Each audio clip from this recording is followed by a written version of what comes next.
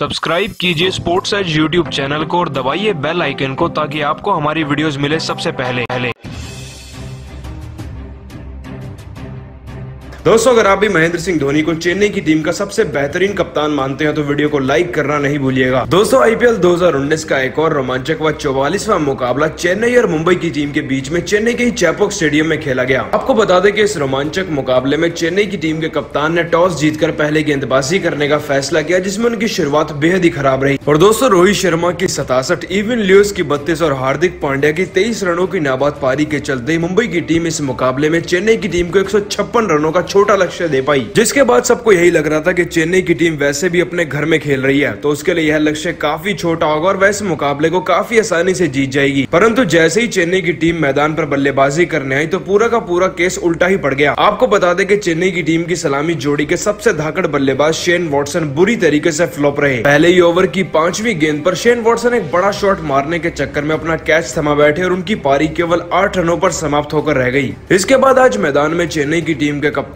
सुरेश रैना भी कुछ खास कमाल नहीं कर सके। फिर वह भी आगे चलकर पारी के चौथे ओवर की पहली गेंद पर केवल दो रन बनाकर आउट हो गए। अब मैदान पर मुरली विजय तो क्रीज के एक छोर से अच्छी बल्लेबाजी करके दिखा रहे थे, लेकिन अंबती रायडू पाँचवें ओवर की तीसरी गेंद पर कृणाल पांड्या का शिकार हुए। आपको बता दें कि कृणाल पांडे ने बड़े ही बेहतरीन तरीके से अंबती रायडू को केवल शून्य के स्कोर पर क्लीन बोल्ड कर दिया। अंबती रायडू के आउट हो जाने के बाद केदार जाधव ने पूरी कोशिश करी कि वह मैदान पर मुरली विजय का साथ दे सके। लेकिन इत्तेफाक तो देखिए कि आठवें ओवर की दूसरी गेंद पर एक बार फिर से कृणाल पांड्या ने ही उन्हें क्लीन बोल्ड करके उनकी पारी को केवल छह रनों पर समाप्त करके रख दिया। और दोस्तों, यह कहना गलत नहीं होगा कि चेन्नई की टीम इसी मौके पर 50 प्रतिशत मुकाबले को हार चुकी थी, क्योंकि चेन्नई की टीम के सभी मुख्य बल्लेबाज आउट हो चुके थे। इसके बाद मैदान में आकर ड्विन ब्रावो भी कुछ खास कमाल नहीं कर सके, साथ ही दीपक चहर शून्य पर आउट हो गए तो वही हरभजन सिंह भी एक रन पर अपना विकेट गवा बैठे। लेकिन दोस्तों, जैसा कि हम सभी जानते हैं कि चेन्नई और मुंबई की टीम के बीच में खेले गए इस रोमांचक मुकाबले को मुंबई की टीम ने 40 रनों के बड़े अंतर से जीत लिया है। मुंबई की टीम ने इस मुकाबले में महेंद्र सिंह धोनी की गैर मौजूदगी में चेन्नई की टीम को एक सौ छप्पन रनों का छोटा लक्ष्य दिया, जिसके बावजूद मुंबई की टीम के गेंदबाजों ने चेन्नई की टीम के खिलाड़ियों की दशा कुछ ऐसी कर दी की चेन्नई की सारी की सारी टीम केवल एक सौ नौ रनों के छोटे स्कोर पर ऑल आउट हो गई। तो जैसा की हम सभी जानते हैं की मुंबई इंडियंस की टीम की, चेन्नई सुपर किंग्स की टीम के खिलाफ छियालीस रनों से यह जीत आईपीएल 2019 के सीज़न की दूसरी लगातार जीत है। चेन्नई की टीम के खिलाफ जीतना वाकई में एक बड़ी बात है। रोहित शर्मा अपनी कप्तानी के अंडर बार बार इस बात को प्रूव करते हुए आए हैं। इस जीत के साथ साथ ही मुंबई इंडियंस की टीम अब आईपीएल 2019 की पॉइंट टेबल की दूसरे पोजीशन पर पहुँच चुकी है। हालाँकि इस हार के बावजूद महेंद्र सिंह धोनी की सेना अभी भी पॉइंट टेबल में नंबर वन की पोजिशन पर है, लेकिन कहीं न कहीं मुंबई की टीम ने इस बात को घोषित कर दिया है की वह चेन्नई सुपर किंग्स को हराने का पूरा दम रखते हैं। दोस्तों, आपको बता दें कि छियालीस रनों से किसी टीम को टी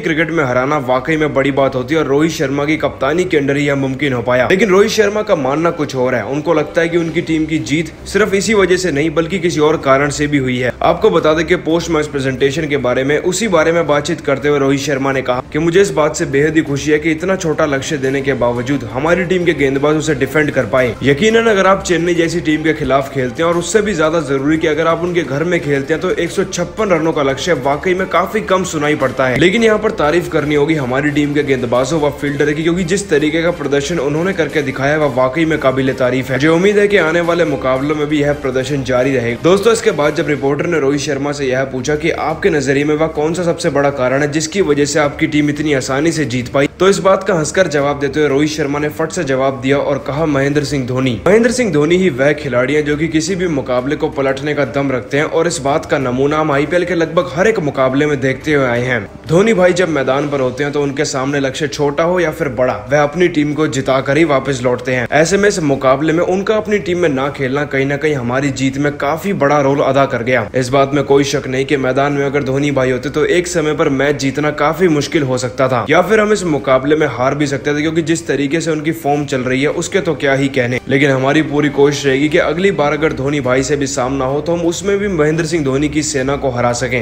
दोस्तों, अपने इस बयान में रोहित शर्मा ने जिस तरीके से बताया की महेंद्र सिंह धोनी का टीम में होना उनको हरवा भी सकता था। उससे पता चलता है कि धोनी का रोल चेन्नई की टीम में कितना ज़्यादा बड़ा है। लेकिन आप सभी को क्या लगता है? क्या सच में महेंद्र सिंह धोनी के ना होने की वजह से ही चेन्नई की टीम इस मुकाबले को हारी है या फिर नहीं? इस बात का जवाब कमेंट सेक्शन में ज़रूर दीजिएगा। और इसी तरह की खबरों के लिए भी सब्सक्राइब कीजिए हमारे चैनल को। धन्यवाद।